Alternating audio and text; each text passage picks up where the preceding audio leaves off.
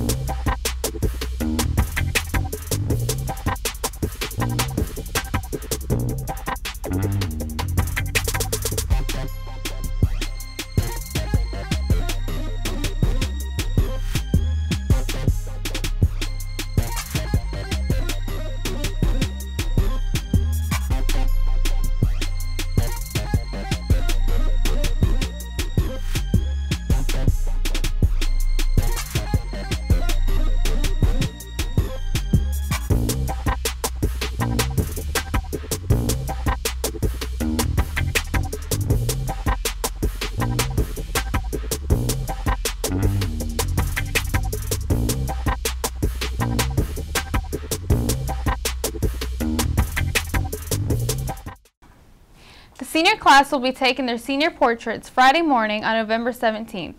The pictures will be in this year's yearbook, so seniors make sure those haircuts are sharp and those edges are laid. Last Friday, your Tyner Rams took on the Brainerd Panthers.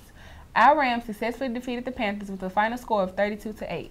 Each week, Ram Train News will spotlight players who stood out during the game. Here's our players of the week. Keon Webb.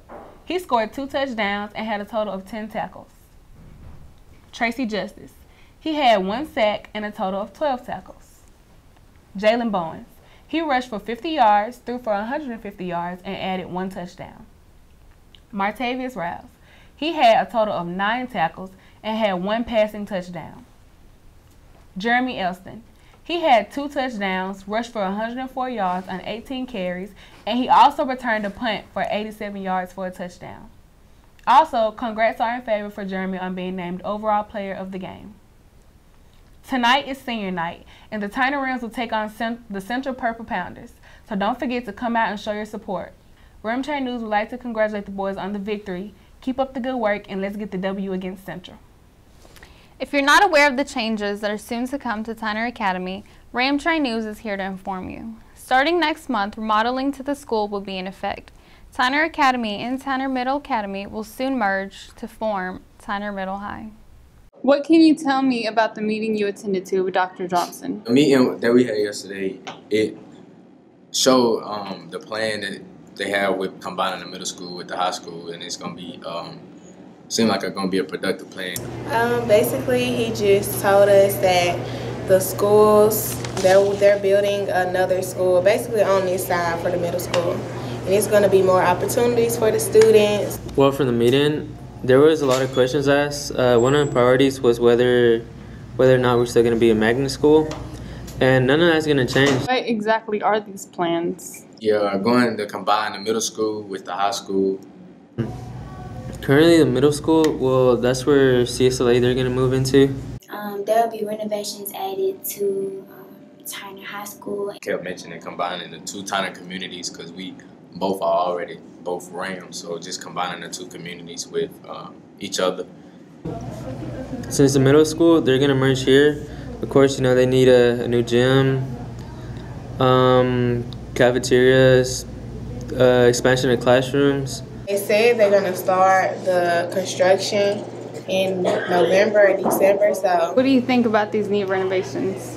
I think it's a good idea. I actually wish that I would be here for it because it's going to be really nice.